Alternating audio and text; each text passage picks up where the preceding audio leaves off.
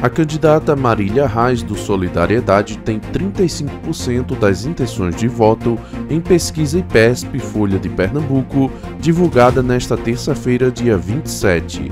Na segunda posição aparecem empatados numericamente Danilo Cabral do PSB, Raquel Lira do PSDB e Anderson Ferreira do PL com 12%, Miguel Coelho com 11%, Wellington Carneiro do PTB tem 1%, nenhum, branco ou nulo somam 12%, enquanto não sabem ou não responderam aparece com 4%.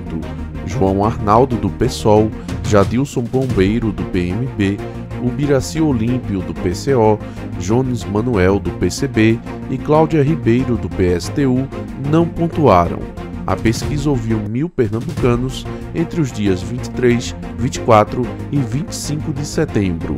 A margem de erro é de 3,2 pontos percentuais para mais ou para menos, e o grau de confiança é de 95,45%. A pesquisa está registrada no TRE e no TSE.